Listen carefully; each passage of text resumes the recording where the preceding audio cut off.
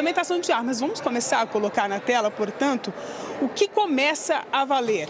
Redução da quantidade de armas e munições acessíveis para civis, como estava antes. Até quatro armas, mais 200 ah, munições por arma, sem comprovar a necessidade para que, que precisava de tanto munição.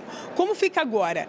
Duas armas, portanto, a metade e até 50 munições por arma e precisa mostrar por que, que esse número é necessário. Tem que ter uma comprovação. Isso tudo no que diz respeito à defesa pessoal. Vamos passar por nosso próximo destaque, que aqui fala sobre o que vai valer agora para os caçadores.